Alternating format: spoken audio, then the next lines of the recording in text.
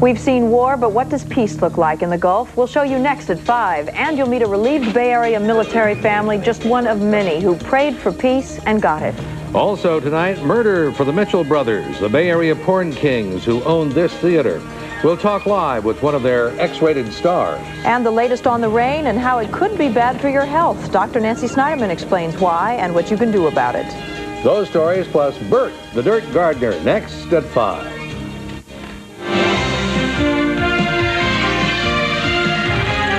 This is KPIX Eyewitness News at 5.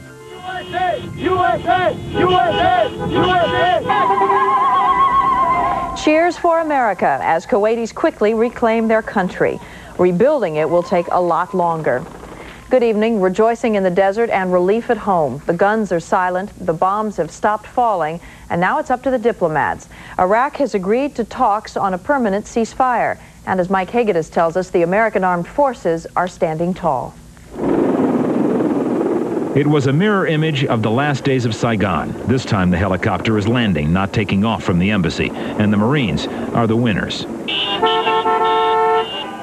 Today, there are no ugly Americans in Kuwait. I, I want to kill Saddam.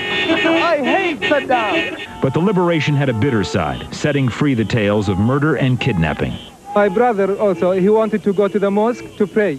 And before he, uh, he go, they uh, catch him and uh, took him to somewhere that we don't know where. Tell them keep their hands on their head. Iraqi prisoners are being questioned about war crimes, and Iraqi commanders have agreed to meet with Allied representatives to discuss prisoners of war. We're going to get together and send high-level military representatives, and we are going to get back our POWs, and we're going to do it fast. There's no timetable for bringing the American troops home. The victory came too fast to prepare for that. One thing's for certain, the soldiers themselves are ready. What's next for you? Go home and see my wife and my kids, big time. Mike Hegedus, Channel 5. Eyewitness News. And the number of Iraqi prisoners is staggering. The allies say they're coming in too fast to count. Estimates range to uh, up to 175,000 soldiers that have given up. And to put that in perspective, compare it to the population of Fremont, 173,100.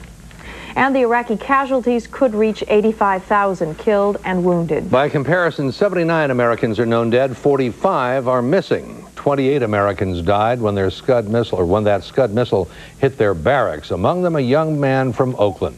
Jonathan Williams was 23 years old. He'd been in Saudi Arabia only 6 days before he was killed. Williams was an engineering student at Old Dominion University in Virginia. He was in Saudi Arabia as a reservist with the 475th Quartermaster Corps. Jonathan Williams' family is feeling a terrible pain tonight, while other homes with other families in the Gulf are feeling relief. Robert Handa introduces you to one family divided by the war and united in happiness tonight. There is that part. Barbara Seath and her husband Bruce have been involved in Operation Yellow Ribbon ever since their son Jim was sent to the front lines as a Marine marksman. But Barbara has been publicly against the war from the start. Bruce says the war was unfortunate, but the right thing to do.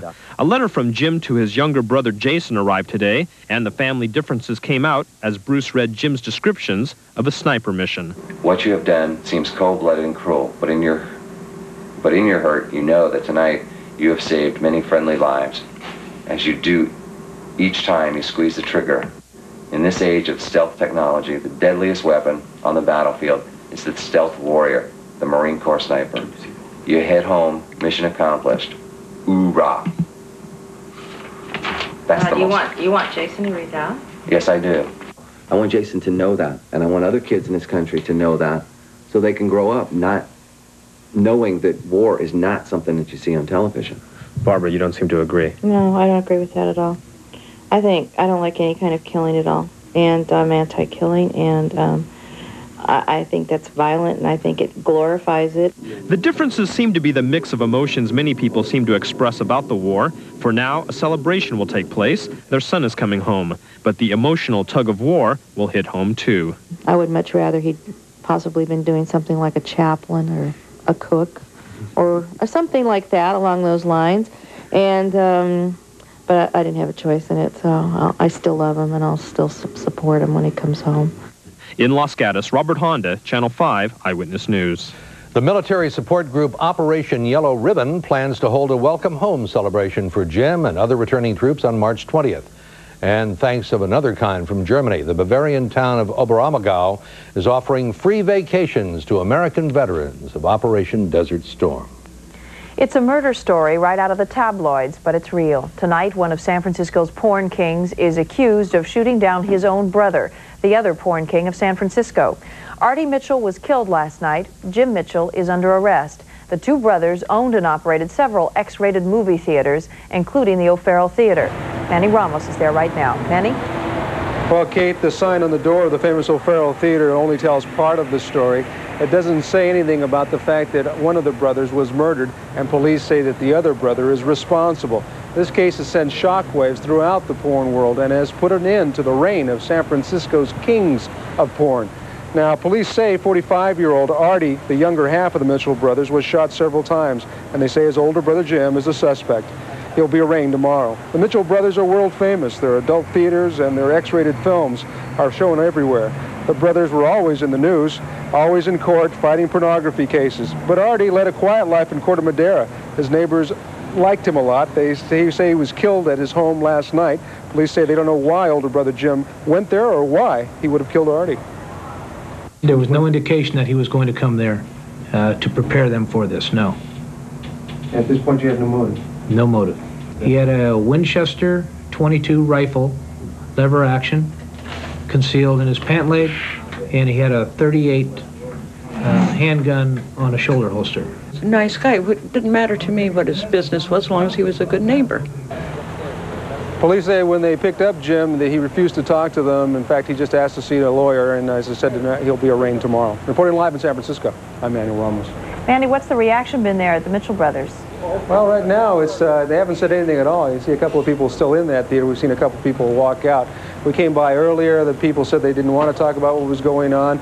Uh, the Mitchell brothers had kind of a family atmosphere. The people in news media knew them quite well, did a lot of stories with them. It's kind of a family atmosphere here, and uh, they've always been very cooperative with the press. Today they were very polite, but said they, they had no comment. All right. Thank you very much, Manny. Still ahead on Eyewitness News at 5, it may be raining, but the drought may be worse than anyone thought. Up next, we'll take you to the Sierra for a look at the new snow and the new estimates about the snowpack.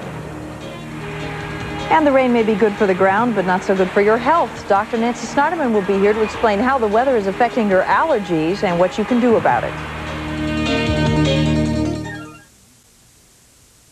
A second day of rain soaked California today. Rain here, of course, that means snow in the high country in the Sierra.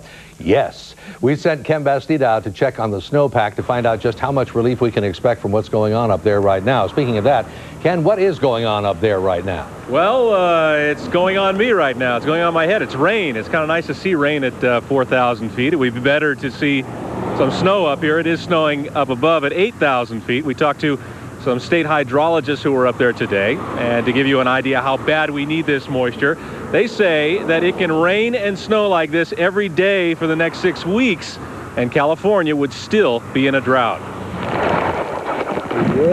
Hydrologists with the State Department of Water Resources making that assessment today after taking their measurements of the dwindling Sierra snowpack. And the news is not good.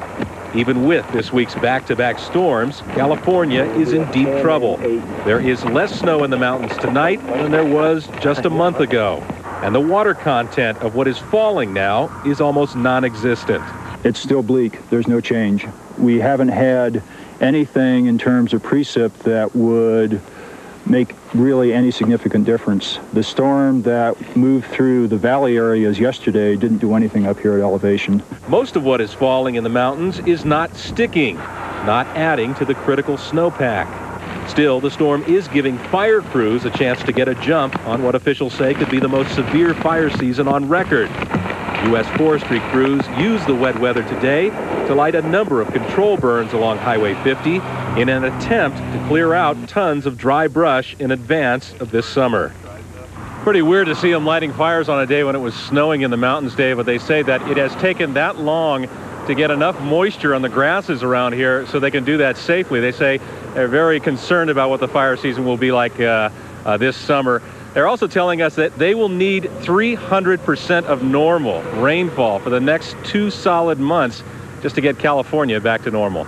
Reporting live from Pollock Pines, I'm Ken Bastida. Wow, that's a sobering thought. Now, about uh, that snowpack, how does it compare to the infamous uh, drought year of 1977? Well, everybody remembers how dry it was in 1977. They are telling us that, uh, well, what they measure is the water content of the snow. If you took that little bit of snow and you boiled it all down, how much water would you actually get out of that?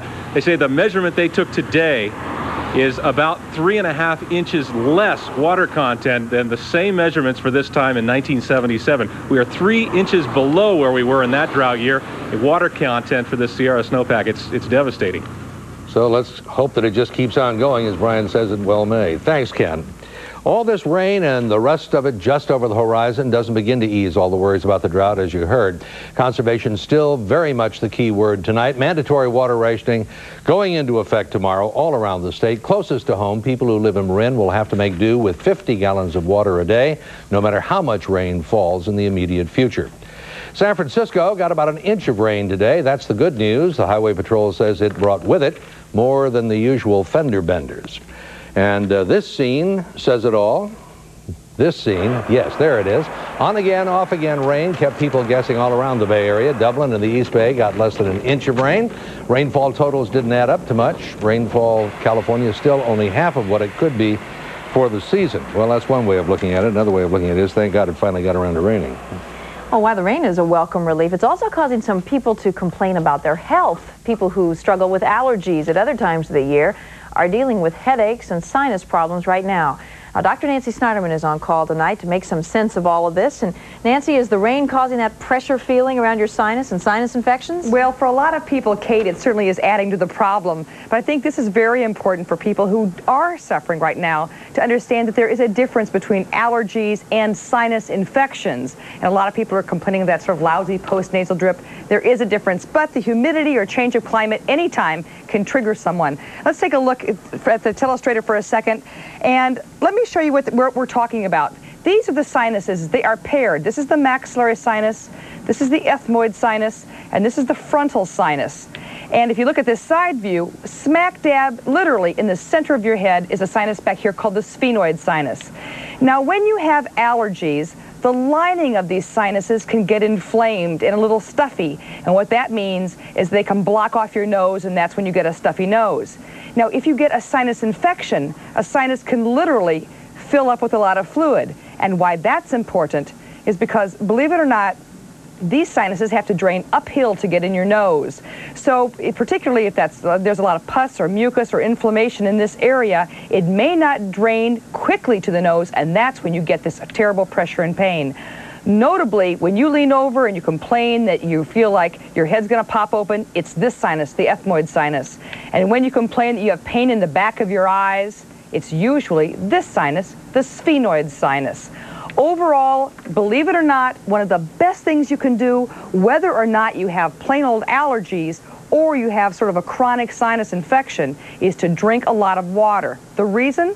The more water you drink, the less it cuts down on those thick secretions and the easier it is for your sinuses to drain. But overall, it's important for people to understand there is a difference, and a lot of times I see people who think they have sinus infections, and all they really are is a little dehydrated sounds like it hurts just thinking about it. What happens if somebody's having a little bit of trouble now? Uh, what are the signs that it's getting worse or it's turning into some sort of a sinus infection? For people who have a history of allergies, they can uh, pretty much spot what's, what's going on stuffy nose, a little bit of pressure. But if that pressure does not respond to over-the-counter medications or their typical things that they use uh, at another time of year for their allergies, or if they start to have a yellowish green discharge from their nose, a lot of cough, even some wheezing in the chest, it's time to see your doctor because that can mean that you need a set of sinus x-rays and uh, you might need to be treated with some antibiotics. All right. Thanks very much, Nancy. You're welcome, Kate.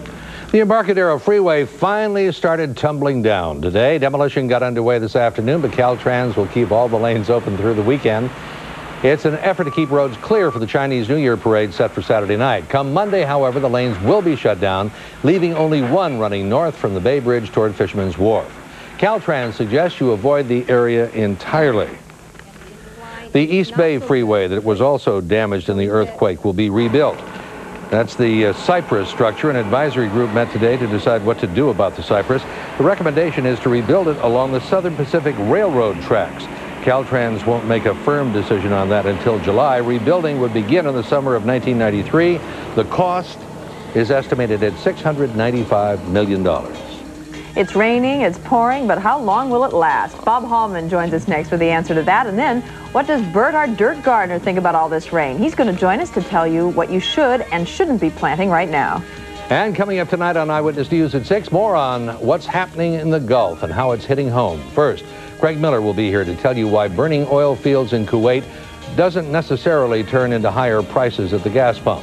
And rebuilding Kuwait is going to cost billions of dollars. A Bay Area company has a big head start in getting the business. Those stories at 6. Eyewitness News at 5 continues in a moment. As you heard earlier, uh, trouble with the Mitchell brothers today. Artie Mitchell was shot to death last night about 1020. His brother Jim is in jail in Marin. Uh, he was arrested for the crime. And um, Manuel Ramos, in telling the story, said that there was a shockwave that went through the Bay Area when that news broke, and uh, for those of us who knew the Mitchell brothers, it was shocking. They certainly didn't seem like likely candidates to be involved in a story like that. One of the women who became a star with the Mitchell brothers is Nina Hartley. This is Nina when she appeared on People Are Talking on Channel 5 last year. For the past seven years, Nina has been a featured dancer and stripper. Now she's one of the best-known adult film actresses in the country. Nina Hartley joins us now from Oakland. Um, what was your reaction when you heard the news about what happened to Artie Mitchell? It was a shock. Um, you know, you never think you're going to know anybody that this happens to. It's always the other guy who who all of a sudden shoots his neighbor, and I never thought I would actually know someone involved in a situation like this. Well, you know, from where we stood, it, they seem to get along so well over the years. How about your, you had a closer look at them. What was your evaluation? They had a very um, intimate relationship as brothers. You know, they've been in business together for 20 years. A very high profile, very volatile, um, emotional business, show business, and also being on the front pages uh, of the San Francisco Chronicle and national papers probably once a year for 20 years. Um, I don't know why this happened or what the the reasons were for this, you know, current dispute, but they're a very high-powered bunch of guys, and uh, it's one of those things. But you didn't. You never saw anything more than the usual give and take between brothers. Oh no, never. Nina, what role did the Mitchell brothers play in your career? Uh, they were the second place that I ever got a chance to work as an adult entertainer, and they were very important for me because it was through them that I finished college, uh, working one day a week on Saturday nights, and also uh, where I got a sense of myself as a performer, as a woman, uh, as a sexual being, and as uh, as someone who really wanted to do what I was doing. So they gave me a very important place uh, in which to find out a lot about myself and earn a good living at the same time. Were they good employers? Were they good to their employees then? Um, they had their good points and their bad points. I think they were, uh, I give them a B plus as employers. Sometimes they would uh, you know, come in and say, we're going to try something new tonight without asking about it first. But generally speaking, they did listen to the um, complaints or the suggestions of the dancers. Any sense of what will happen to the Mitchell Brothers uh, business now? God, that's so up in the air. So many things could happen. My sincere hope is that it does stay open, both as a place of work for many women uh, who are supporting children, supporting themselves uh, through school, through college, and as a uh, national and international tourist attraction and, and, institution in its own right. Um, it was on the forefront and the foreground of very many um, changes in the adult entertainment industry, and for that reason alone, I would hate to see it go under. Thank um, you, Nina. I'm sorry we're, we're running short on time, but we appreciate you joining us tonight. Thank you. Just minutes ago, police told us Jim Mitchell will be arraigned in Marin County tomorrow. Kate? And looking ahead to the weekend and the forecast for the weekend, Bob Haulman is down in the Weather Center right now to tell us if rain is in that forecast. Boy, it sure is, Kate. We have uh, had quite a bit of rain in Northern California, more on the way. Let's take a look at the satellite picture. We can show you what's happening. First of all, the flow across the Pacific is coming straight across the Pacific, zonal, right into the California coastline. And as a result, we are seeing good amounts of rain in the area. And the weather systems, one on shore right now. This one will be coming in. This one right here will be coming in later tonight. And this one a little later in the weekend out here, so we have several days of that lined up. All right, let's take a look at the radar picture because we can see some fairly intense thunderstorms around the area, and the thunderstorms have produced some tornadoes, and that's in the area of Fresno, uh, Tulare County, actually, a place called Goshen. That's where the Highway Patrol has reported a tornado. Now, right in these areas, and one near Fairfield, another one up toward Chico, and another one up in the Sierra foothills, we have some thunderstorms right now. We don't really expect any tornadoes out of them, but we could have some severe weather during the night, and they produce an awful lot of rain in a hurry. So we have a lot of rain. By the way, San Francisco just went from being in the place to have our second driest uh, year in history to being the sixth driest. That's how well this storm has done. Just an inch did that. Just a little over an inch did that. All right, thanks, Bob. The rain has left many Bay Area people hopeful, especially gardeners, uh, and it's left them a little confused too, wondering if now is the time to do any planting. Well, you, don't you know who has the answer to that? Here he is, Mr. Dirt Gardener himself, Bert Bertolero. He joins us from Concord. How about it, Bert? The rain is great news, but uh, we're still in a drought. What are you suggesting? Well, that's true, David, Kate, and but you can you can take and still plant, providing that we take and plant and water water wisely. We take and we take the normal soil and we work some redwood soil conditioner into it because it'll hold 20 times its weight in water. We add some polymer gels, which are the P4 materials such as this, which of course a tablespoon of the material swells up. It takes up to 200 times its weight in water and releases it to the plant whenever it's necessary. So it's marvelous material. So you can garden as long as you just take and water wisely. Excuse me, what exactly should we plant? What are you suggesting? Well, a couple of things that we can plant because there's many, many things that we can set in, Dave, is roses. And this is an ideal time to put out bare root roses because you want to get a rose that has three strong canes, three canes going in three different directions, and you cut to an outside bud so you have the new growth. You take it so that it's grafted, such as this, and let's go down to the illustration that we have here, and you'll see that through this you spread the roots out very, very carefully as well as you can, and you plant this bud graft, which is again like so. So it's about two inches above the surface of the soil, and you fill in with all of the good prepared soil. And then you put a basin around it, so when you do water, the water will actually stay in this basin, and you'll find it'll do quite well. You add some bone meal into the soil because the bone meal actually is a slow-acting fertilizer. Doesn't give your plant a tremendous boost, but it does give it the food that it needs. In a dry year like this, Bert, where do you plant? Do you plant in special locations? I would say you'd plant where you're able to get recycled water out to the uh, area, Kate, uh, but I would say that you'd want to do it in a more compacted area because uh, you plant so that uh, you're able to get maybe one or two crops growing in that same area and that given spot. There's we a tree that. behind you, Bert. Uh, are, are, you suggesting trees should be uh, planted at these times? Oh, yes, and I think that you should plant in trees because you should plant trees, the fruit trees that are suitable for your particular area.